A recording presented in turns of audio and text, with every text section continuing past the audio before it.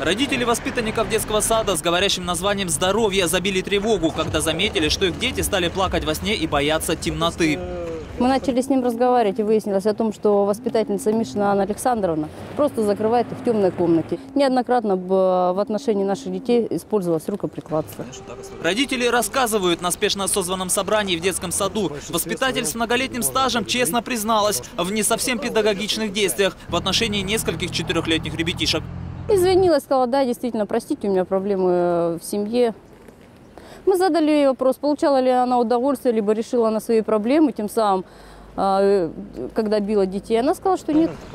Возмущенные родители написали уполномоченному по правам ребенка. За дело взялся Следственный комитет.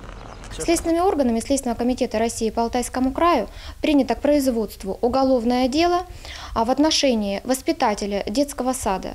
Женщина подозревается в совершении преступления, предусмотренного статьей 156 Уголовного кодекса Российской Федерации, то есть неисполнение обязанностей по воспитанию несовершеннолетнего.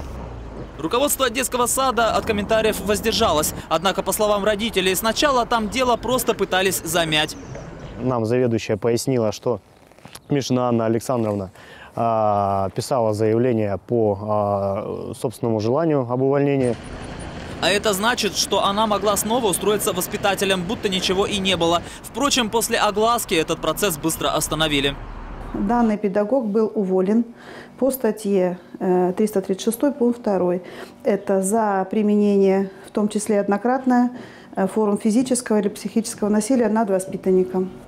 Совпадение или нет, но по словам чиновников, в январе этого года в каждом из 158 муниципальных детсадов Барнаула приняты кодексы профессиональной этики. Так что вопиющий инцидент в детском саду здоровья должен остаться первым и единственным. Михаил Ширин, Николай Шелко и Александр Морозов. Наши новости.